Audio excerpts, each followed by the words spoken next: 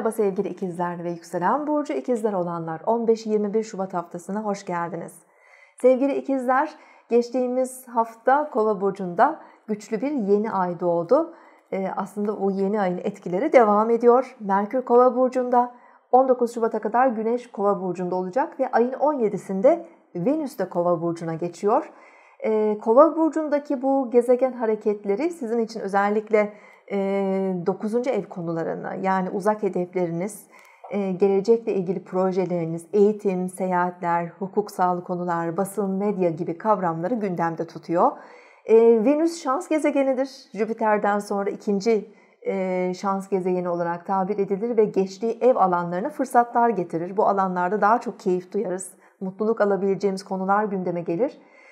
Siz de bu dönemde özellikle Venüs'ün 12 Mart'a kadar e, bulunacağı 9. ev e, etkilerinden daha olumlu e, yararlanabileceksiniz. Seyahate çıkabilirsiniz. Bazı eğitim fırsatları, örneğin kişisel gelişimle de ilgili olabilir. Bunlar mesleki eğitimler de olabilir. Bu alanlarda fırsatlar karşınıza çıkabilir.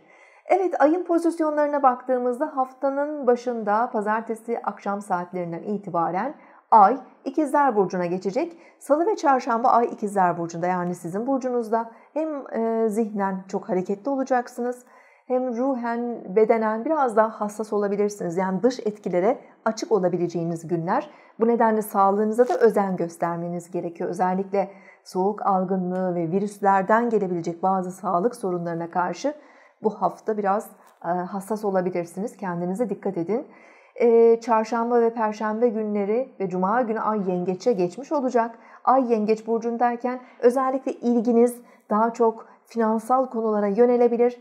Ev için yapılacak bazı alışverişler gündemde olabilir. Genel olarak bütçenizle, e, bazı ödemelerle, faturalarla ilgilenebilirsiniz. E, hafta sonundaysa Ay Aslan Burcu'nda. E, sizin adınıza keyifli, Ay Aslan Burcu'ndayken e, biraz daha böyle e, yaşam enerjiniz sizin yükselecektir ee, özellikle keyif alacağınız konulara daha fazla zaman ayırmak isteyebilirsiniz.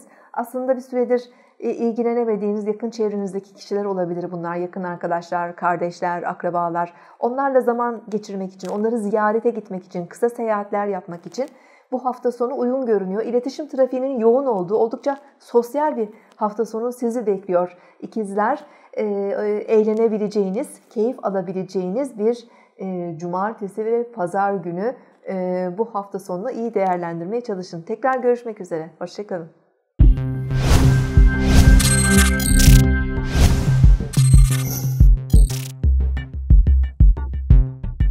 Bu akşam seminerimizi canlı olarak mobil uygulamamız üzerinden yapıyoruz.